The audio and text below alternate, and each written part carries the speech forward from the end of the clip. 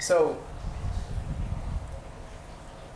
I, I think you're right. In in the United States today, people understand something is is not right because of the mass shootings that we have, The Um, opioid addicts. the the the addiction to opiates. Something something is wrong. Where uh, I, I know the the generation of college students in America today have the highest levels of anxiety and depression and suicide than than previous generations. Mm-hmm.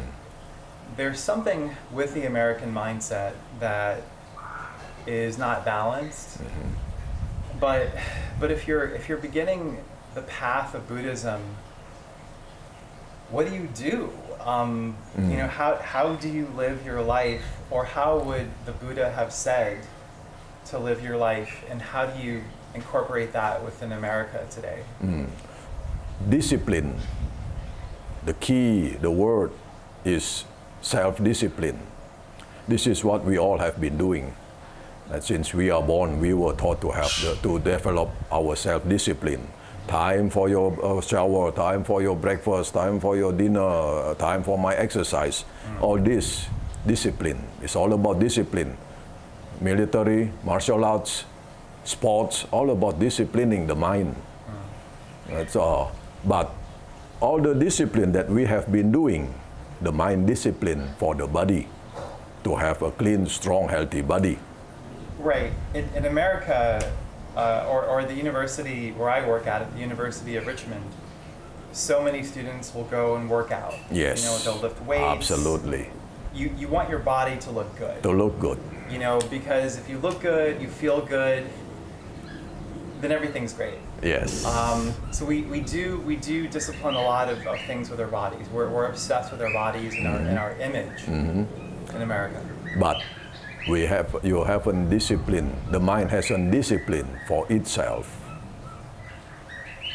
Right? Mm. We never we never done anything for our mind to discipline our mind. Mm. Meditation is the only way to discipline our mind. So daily, if you spend 10 or 15 minutes, 10 or 15 minutes per day to sit down, discipline the mind for itself, feed the mind for itself, clean it, clean it, exercise it, give vitamin to it. In 15 minutes, this is all you can do for your mind. Right? Let go, detach everything in your mind so that your mind is, can start fresh again. Yeah, I, I like that idea because in, in America we're we're addicted to our cell phones, to Exactly. our computers. Um, something is wrong if we're not on social media. Mm-hmm. Something is wrong if we're not checking our email. Mm-hmm. Something is wrong if we're not busy. Mm. Because in America, we associate busyness with success. Yes. And if you if you are if you are sitting down just observing your breath, mm-hmm. people might think that you're wasting time. Mm-hmm. And so I think the challenge is how do you how do you begin to work in a Buddhist path when that path is not quite the same as this path of, of success and time and money in America today? Mm-hmm. So it must begin from head to bottom. Right? The, the leader, the teacher, the professor, they must create the right understanding. Hmm. It goes to the Four Noble Truths of the Buddha, which is the, the fourth noble truth, the truth, the eighth noble path. Begin with the right understanding if you have the right understanding, like yourself, yourself, for example, if you have the right understanding that meditation is useful in our daily life, right, in order to cope with the with the stress, depression, so you can be the model, the inspiration for others to follow, for your students to follow. Hmm. With the right understanding, then you will have the right thinking with the right thinking, you will have the right speech, you will speak right. When you speak right, you will do right. When you do right, you will have right living. Then you put the right effort in your daily life to meditate, to take care of our mind. Then you have right concentration, then you have right mindfulness. So the Buddha has already described the framework in our daily life as a way of life to take care of our mind in order to have a good mental health. A healthy life is a healthy mind and body. A healthy mind gives a, a healthy mental. And so to take care of our mental health, then the meditation is the only way. We begin with the right understanding, the Eight Noble Path. Then the first noble truth, the truth about suffering, the, when the Buddha described, and the second noble truth, the cause to our suffering, that begins with our ignorant mind, our hatred, and the root cause of our suffering is our ignorant mind. Hmm. Or begin with our greed, our hatred, and the root cause is our ignorant mind. The word ignorant means ignoring the truth. The truth is about the law of cause and effect, the law of action reaction, the scientific law. Hmm. What we have been doing is either ignoring the truth, suppressing the truth, or rejecting the truth.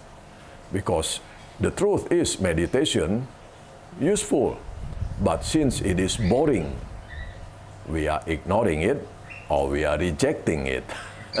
but if we do, if, if we understand Yeah. that taking care of our mind, there will be good consequences. We have a good mental health.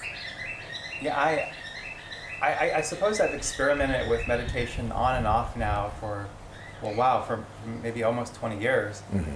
But I've only had a, a, consistent daily practice for the past three years or so. Mm-hmm. Um, not too long after when I, when I first met you here in Bangkok. Mm-hmm. And, and I, I think the, the way I look at meditation is it, it, number one, definitely does provide more insight to my thought process, to my emotions, to my mm-hmm. heart. And that can usually give me a recipe or template for looking at life in, in, a, in a easier way. Um, but but it can it can be hard just sitting like this. You know, after 20 or 25 minutes, you know, um, all of my addictions come up. I, I want to check my email. I, I want to, you know, go do this thing or that thing. Um, and I, I guess what I mean to say is Buddhism is a good path, but it, it takes work. You know, like mm-hmm. like lifting lifting weights in a gym for your body. Meditation, I think, is kind of like weightlifting for your, your mind and, and heart and, and, and understanding what that is, but it, ta- it takes work. Absolutely. Look at our life to get a degree. Hmm. Right? It takes a, it takes a lot of work and it costs a lot of money. Hmm. Right? Until you get P, uh, bachelor, master, PhD degree, how many years we work hard, we study hard to get those degree. To buy a house, to get a, to, to buy a car, you need to work hard to have a healthy body, all the workouts, right, all the exercise, you must work hard. All the sweat, but meditation you don't have to sweat, but you will have a good mental, a good mind, a good, a, a good mental health. Yeah. But you don't have to sweat out. And 15 minutes workout, you spend one hour at least to work out to have a good look body with all the muscular and healthy body. Right, even yoga to, uh, for the healthy body. But 15 minutes right, to sit down and just uh, let go or reset your mind. Yeah. Uh, so the, the hardest part in meditation is to let go the attachment of the mind. Because working out is a lot more fun and our mind attached to it. Yeah. right? To get busy right in our daily life it's fun. Why? Because you will earn money with the I appreciate this this idea of looking at meditation like how you might get a bachelor's degree or a master's degree mm-hmm. or you might save up money to buy a house and pay a mortgage. All of these things take time mm-hmm. and hard work. and hard work. Yep. And and I, I, I like that attitude of looking at meditation like that. Mm. And so you, you know in america we, we want instant success. We mm-hmm. want instant results. And I think people are, are, are assuming that unless you get instant results, Mm-hmm. something's wrong. but but if we look at meditation as, you know, if you practice, you know, a little bit every day after so many months or so many years, Mm-hmm. you will graduate to, you know, maybe a, a better level of, of mental concentration Mm-hmm. or a better level of self-awareness. Um, but but it's not an instant, quick fix. Yep. It is it is a, a part of your life that that that is little by little a way towards self-improvement, but not not instant results. Mm. The que- my question is Is there any instant bachelor degree Oh, well, you PhD? Get some online. well, what about the quality? right. Right? Right. So, as Buddhism is an education, it takes time to get to earn bachelor degree, master degree, PhD. It takes time. How many how many years we spend to gain to gain this degree, to earn the degree, to earn the wisdom, to gain the wisdom that on the the true purpose of meditation, right? as a way of life, as an education. The, the, the, the title will be wisdom. So it takes time also. Every day to earn bachelor degree, five, five days per week, right? We go to school. That's, uh, how many years we spend? Four years. Four years. Yeah. But not to count high school, elementary school. All this count toward bachelor degree. Uh, So at least 10, 15 years we spend to earn bachelor degree at least. Another two years, another for PhD. Meditation is the same. To have an education, to have a good mental health, right? uh, we have to do it every day. Can you, Ajahn Hartanto, Yes. share more about your experiences with meditation? Mm-hmm. Um, how did you begin? And um, what were some of your obstacles that you first encountered with meditation? And how did you overcome those obstacles? So when I I started meditation when I became monk uh, 21 years ago. After I left my businesses, I came to Thailand to become monk, and uh, I was in the jungle on an empty island. I had no one to talk. I had nothing to do. I just sit down, close my eyes, and then start observing my breath, and just start to meditate.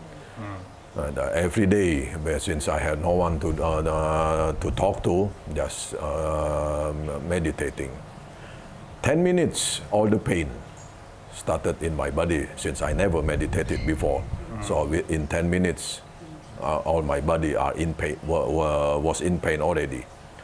And as I opened my eyes, I was surrounded by snakes. So this combination, fear and pain, that is my hardest obstacle. But, but since I couldn't move, I dare not to move. I just keep on closing my eyes. I just started uh, try to to uh, observe the pain, and uh, uh, actually at the beginning I tried to ignore the pain. It won't it won't go. So I just shed tears, cried due to my pain and my fear. So when I had a chance, then I moved. Then I, I, I, I, was able to uh, stay away from the snakes. So every day I have to move and I have to suffer from all the pain. Suffering, like it goes back to the it goes back to Buddhism, the the, uh, the Buddha teaching the Four Noble Truths. Suffering, the cause to my suffering, right? my greed, my hatred, and my ignorant mind. So my mind was ignorant enough, was very ignorant at that time, that create all my suffering. Right? My greed, or I, I, I don't want this. I, what am I doing in this uh, jungle? I had a nice life, right? and uh, my hatred, I hated my mother who asked me to become monk. I hated more and more, so create my anger. Right? So uh, all these are having the root cause of my ignorant mind. And as I meditated every day, and uh, I, I try, uh, my mind uh, try to fight, and I try to fulfill my mother's wish to keep on medit, uh, to keep uh, stay as a monkhood for two years. Mm. Then, then I, I fought, uh, my mind fought all those suffering, and every day as I, I meditate, that meditation helped me to get better and better, to understand better and better. So finally, I realized that snake didn't make me suffer. Jungle didn't cause my suffering. It is my own mind that created all the suffering. Mm. So having understood that, so then my fear subsided, and my pain also I was uh, able to understood, and this didn't disturb my mind. So I keep on meditating, and I was able to meditate all day and night and keep on researching. And so, for you, meditation has been a process of researching your mind, sitting literally with emotions, even negative hard emotions. Yes. Trying to understand the nature and the origins and the roots of those emotions. Yes, the root of all this suffering. So if I if we understand the teaching, if we understand the, the law, Mm. I underline understanding, not knowing, because knowing is everybody can know. Mm. But if we don't practice, if we don't experience it, if we don't see with our own mind, we never understood it. You know, that, that reminds me of, of something I, I heard about in Buddhism or, or maybe other teachings. And it has something to do with uh, the metaphor of, of, pointing to the moon. Mm-hmm. Um, and there's a path toward this destination, mm-hmm. but it's important to, to not get too distracted. Mm-hmm. You ultimately need to find your own path. And that for Buddhism, as I understand it, means you need to investigate yourself. Yes. And so you can describe it, or I can describe it, yeah. or other videos can describe it as much as they want. Mm-hmm. But this part of practicing and understanding through meditation is something you have to personally experience for yourself. Yes. So that's why with this education, uh, with this uh, Buddhism, this is, uh, is an education that you cannot buy and no one can give you. Mm. But not like uh, uh, if you go to earn a bachelor degree, uh, you pay the tuition, you can buy knowledge. But to gain the wisdom, only you yourself. That's when the Buddha said, You are your own refuge. Only you can help yourself. Mm. Right? So you must sit down, insert or uh, uh, insert a new way of life in your busy days, uh, 15 minutes per day, just inserting this, this, this wrong. It won't hurt you, it won't cost you, but if we do this, insert in our daily life, taking care of our mind, disciplining the mind for itself, mm-hmm. right? searching for yourself, keep researching why or what caused your suffering, why I do what I do, I speak what I speak, what is the cause. So you will find the answer, you will have a good consequences. So in today's society where stress, anxiety, depression, all over. Even on we, if we sit down on the traffic jam, we already stress. Yes. But if we sit down every day, the ripple effects, the chain of action reaction, the chain of cause and effect of that stress, mm. give the consequences to our behavior. Right? So as we stress, we're not depressed, but our behavior becoming high temper, easily get angry. Mm-hmm the consequences also to our friends, to our families. Mm. The ripple effects of a stress, unable, the mind unable to let it go, to manage it wisely. You can, what, what we all do, take a vacation with all your stress. Temporary way, you can manage that stress. But once you are back to work, in your daily life, you meet stress again, you meet uh, traffic jam again you will stress again. What I appreciate with your sharing about stress and its ripple effects, if I if I understand you correctly, Ajahn Hartanto, mm-hmm.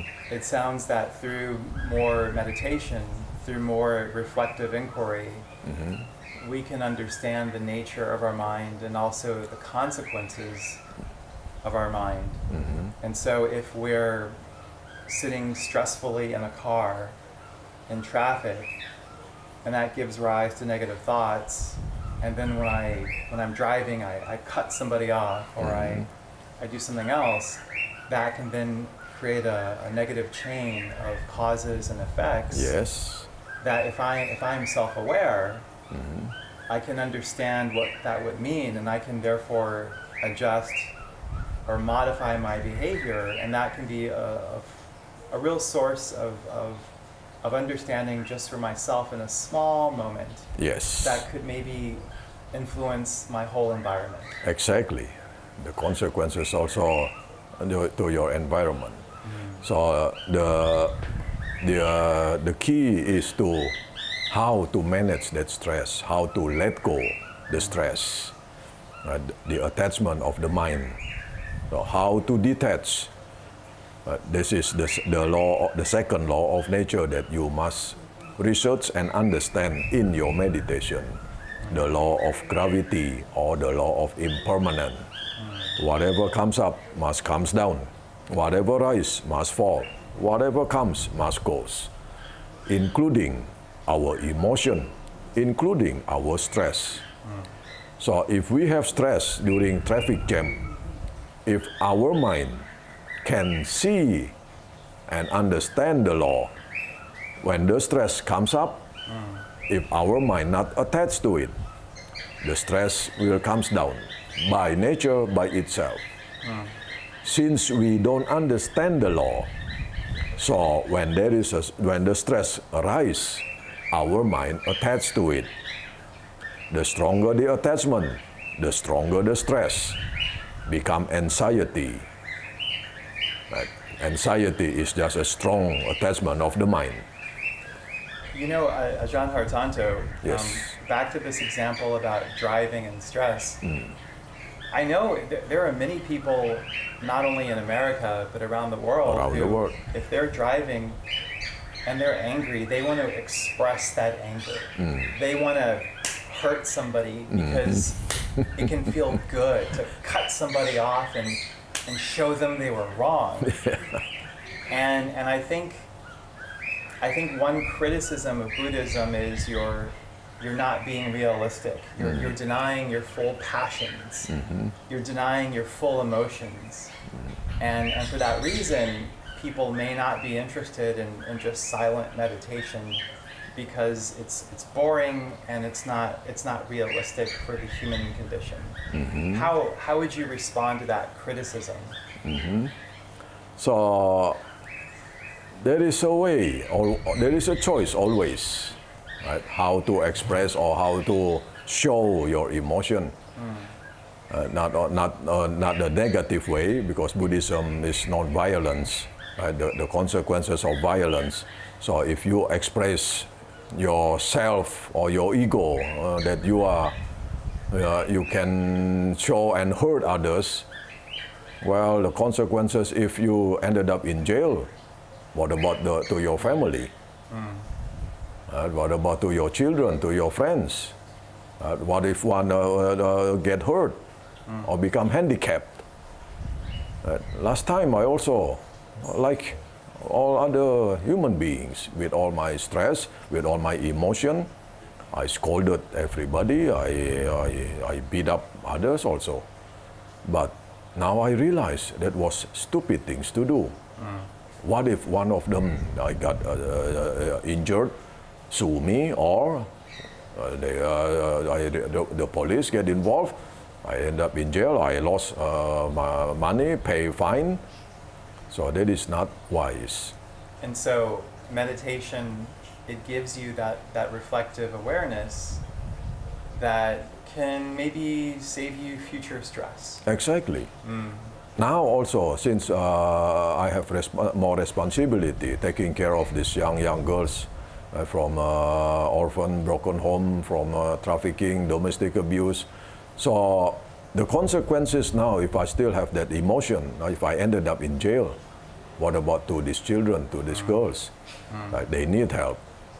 So it is not wise if I follow my emotion, but it is wise if I follow my wisdom.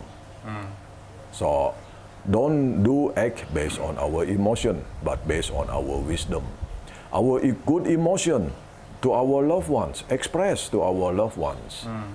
Right? Because, because meditation not to get rid of our emotion. If we have a good emotion, express, the, ex- express it to our loved ones. Hmm. If we have a negative emotion, let it go. We don't need to show our ego, ourselves, that oh, I'm better than you, I'm stronger than you, I can beat you up. Hmm. What if you sue me? Or what if you, you're not happy and you tell your friends, your friends will come and shoot me? Well, the consequences of an action that I want to show my ego. Mm. In today's society, where gun everywhere, right, where emotion against emotion, anger against anger, ended up in hurt, in suffering. Right. It is something that not common. Why? Because we never been taught, we hardly heard this kind of teaching. But it is better we start doing or inserting like uh, the way of life in our day, in our daily life insert this way of life. So that if there is a time for us to compete and show our ego go ahead in our competition in sports. Right, but not in the violence way to hurt others to make other people suffer